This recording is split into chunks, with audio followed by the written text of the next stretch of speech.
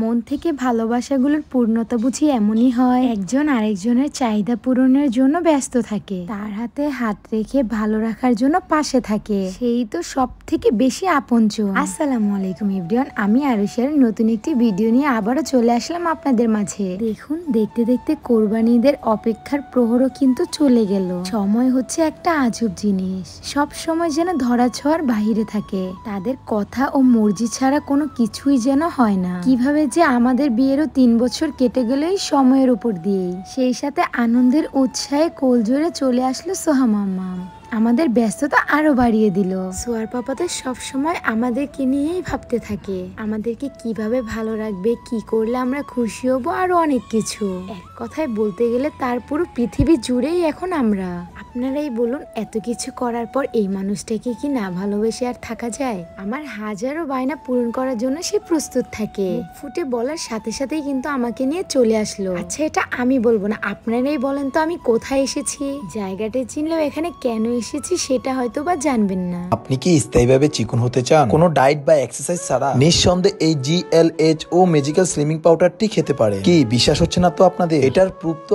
আরও নিজেই। আরও এই সিজারের পর কিন্তু এই স্লিমিং টিটা খেয়েই এত চিকন হয়েছে। আর হ্যাঁ এই স্লিমিং পাউডারটা অরিজিনালটা নিতে হলে আপনাদের গ্রো লং হেয়ার অয়েল পেজে ভিজিট করতে হবে। কারণ যেটা ভালো প্রোডাক্ট সেটার ডুপ্লিকেটটা অবশ্যই বের হয়। আর আমরা যেটা রিভিউ দিই, সেটা একশো পার্সেন্ট ভালো না হলে কিন্তু আপনাদের সামনে নিয়ে আসি এই স্লিমিং টি খাওয়ার সাত থেকে দশ দিনের মধ্যে আপনি রেজাল্ট পাবেন। আর দেরি না করে এখনই গ্রো লং হেয়ার অয়েল পেজে ভিজিট করে প্রোডাক্টটি নিন। তাদের পেজটি আমরা ক্যাপশনে মেনশন করে দিই। একটা কথা বলুন তো, কে কে তুফান মুভিটা দেখেছেন? এত এত তুফান মুভির প্রশংসা দেখে আমি আর বাসায় থাকতে পারলাম না। জামাইটাকে পটিয়ে নিয়ে চলে আসলাম মুভিটা দেখতে। এখন অনেকেই বলবেন মুভিটা তো আপনাদের এলাকায় দেখতে পারতেন। না না, এখানে একটা কথা আছে। সেটা হলো, আমি এখানে মুভি দেখার থেকে পাপন খাওয়ার জন্য বেশি এক্সাইটেড ছিলাম। তাই তো নারায়ণগঞ্জ এরিয়া ছেড়ে সোজা চলে আসলাম বসুন্ধরাতে। আমরা কিন্তু এখানে একদম ঠিক সময় পৌঁছেছিলাম। টিকিট কেটে ঢোকার পর সবাই দেখি মুভির জন্য দৌড়ে চলে যাচ্ছে। শুধুমাত্র আমি দাঁড়িয়ে আছি পাপ্পন নেওয়ার জন্য। যাই হোক আমার মতো কে কে এমন পাপ্পন লাভার আছে সবাই একটু কমেন্ট করে জানাবেন। তুফান মুভিটা কিন্তু আমি খুব এনজয় সহকারে দেখব, সেটা আপনাদের সাথেও শেয়ার করব।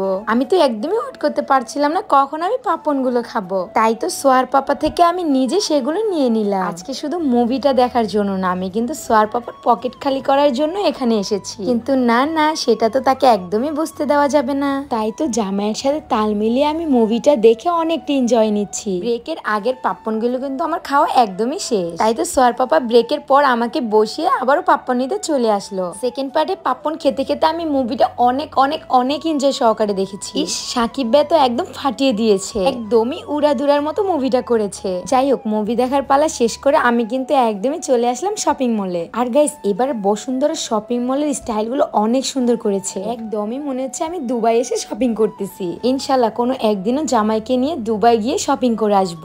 এটা শুধুমাত্র পসিবল আপনাদের ভালোবাসা পেলে ইনশাল্লাহ আশাটা একদিন সত্যি পূরণ হবে। তো যাই হোক জামাইকে কিন্তু আমি নিজের টাকা দিয়ে শপিং করে দিচ্ছি। আগে আগে ভাগো, পরে কি হয় তাই দেখো। মনে মনে কিন্তু আমি এটাই বলতেছিলাম। আর সোহার পাপা তো আমার অনেক প্রশংসা করতেছিল। তার কথা আমি এনজয় সহকারে নিচ্ছিলাম।